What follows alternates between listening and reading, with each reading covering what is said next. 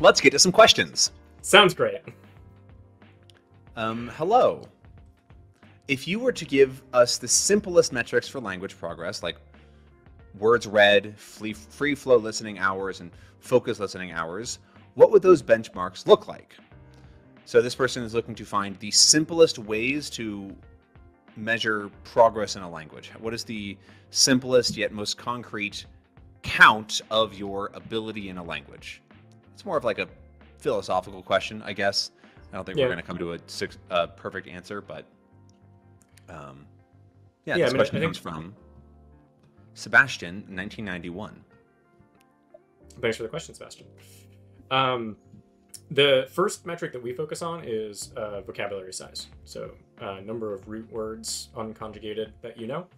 Um, those generally break up into 5,000, 10,000, and 15,000 and above uh, as the met- met- met- or sorry, the benchmarks for that. Um, generally, like 5,000 is of passive, like being able to understand those in their conjugated forms. We would consider that's sort of like the basic level of fluency. 10,000, you're doing really good. 15,000 is about what you need for the CEFR C2. Um, above that, you're basically getting into native speaker territory.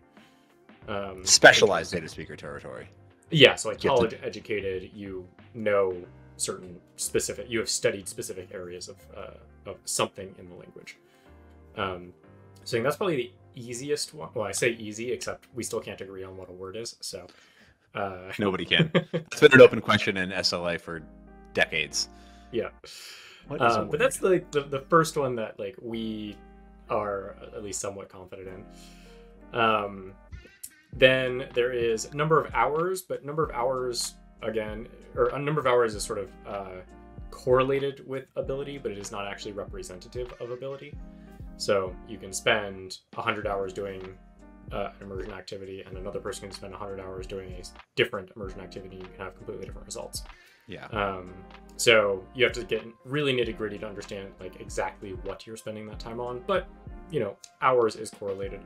So generally, um, if you do uh, for like a category one language, if you did uh, 500 hours of reading and 500 hours of listening and 500 hours of speaking and writing slash writing, like you would be quite good at the language.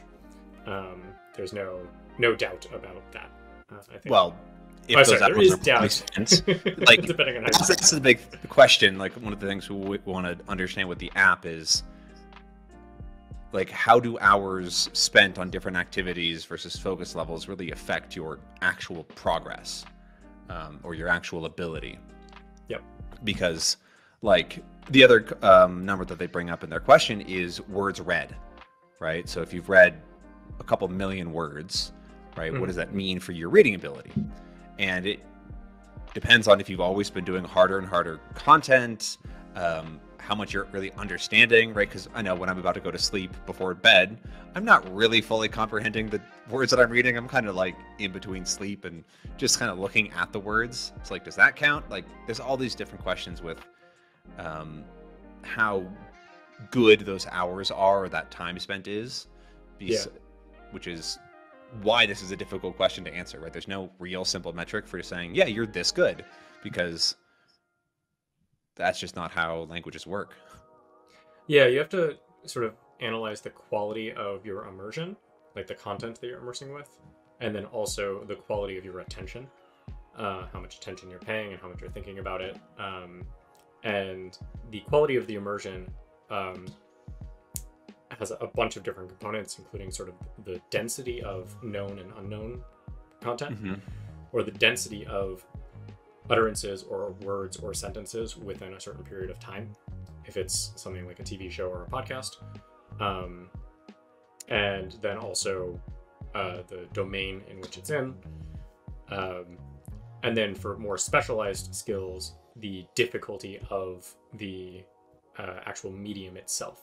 So the difference between someone speaking into a microphone with a script versus someone speaking in a loud auditorium off script where they're talking about whatever they want.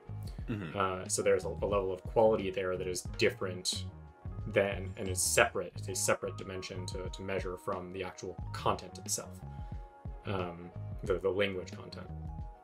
So there are so many different components to measure that um, that it's it's hard to really derive any significant insights without having much more strict test cases where we like Mhm. instruct people what to do, which most people don't want to do. Um, but you can think in terms of the quality of your own immersive experience.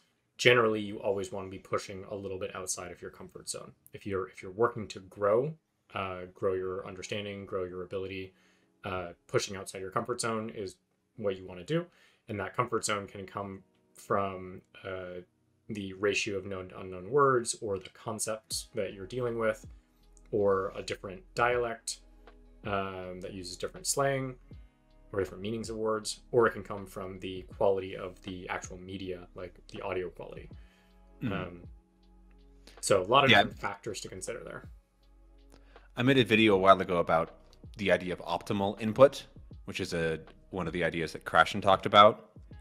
And there were, I think, four different aspects of, of creating high quality input. Um, and I think there's kind of a, a split of like quality for you personally versus like quality linguistically.